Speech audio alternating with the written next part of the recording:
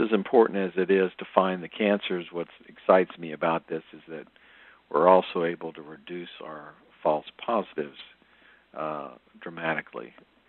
And that's a little harder to demonstrate, but I'll show you a couple of cases to, to help try you. This was, a, again, a case that I looked at, and I was certainly concerned about this based on the MLO projection. But we're, what we're going to see on the, here's the uh, AVI file through the tomosynthesis, and you'll notice that density just melts away.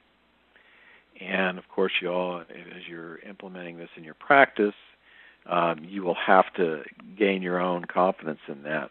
But I can tell you there was nothing there, and that's just a benign asymmetry.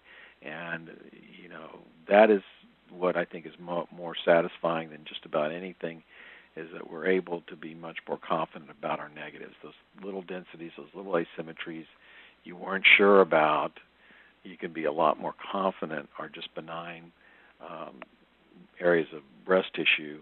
And essentially, the way I look at it, it, it really truly is, is that you the density will melt away as you go through the lesion on tomo.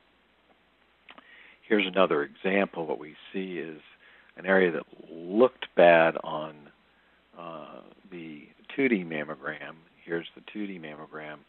Here's the 3D mammogram.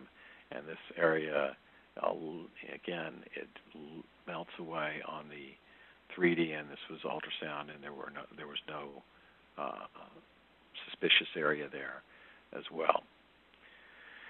Here we have a mass in the right breast. We can see that it's been biopsied, um, so we have biopsy proof of what this is. And here it is on the MLO projection. And you'll notice on the 3D that this is lobulated. And it's of moderate density as well. So we're not just talking about spiculated masses when we're looking at malignancies. If you see a truly lobulated mass, uh, you would still call this back. Okay, I would still call this lesion back.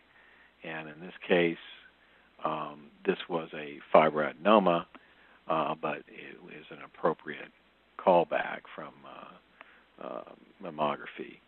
Uh, now, what isn't, in my opinion, necessary to call back is a TDLU that's distended with fluid. That you'll get used to seeing is low density, uniform, circular, low density masses in a cluster. Um, I do not call back. Okay, so this is this was again was a uh, was a fibroadenoma. Uh, this next patient, you'll see, actually, this is uh, the area of interest, and here it is on the MLO view. And we, in this case, you actually see that this is a lower density lesion, okay? And that's uh, very that is comforting. That that's a, low density, uh, round lesion without spiculation, and I don't have a problem with someone initially calling this back, you you know you need to have your own level of comfort. But I am not calling nearly as many of these areas back, uh, and if they're perfectly round, I don't call them back at all. In this case, we did, we did an ultrasound. It's just a cluster of cysts, and it's benign.